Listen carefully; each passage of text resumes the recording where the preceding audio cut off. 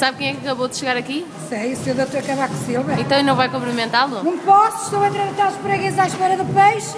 E não lhe E quer dizer que- nada? E ela que tinha que vir aqui dentro, ao mercado. E Porque se nós ele- estamos aqui, os fregueses também têm que ir embora, não quero esperar muito. E se ele vier aqui, o que é que lhe vai dizer? O que vão dizer? Vai governar o nosso país muito bem, melhor do que o que estão a governar. O que é que ele tem que fazer então? Tem que melhorar o nosso país, botar mais emprego, cá está muitos desempregados. E ele tem que abrir, botar uma mãozinha nisto para abrir mais trabalhos. E porquê que acha que os candidatos gostam todos de vir aqui às Caxinas? Porque é uma terra muito acolhedora, muito boa. Uma terra de trabalhadoras.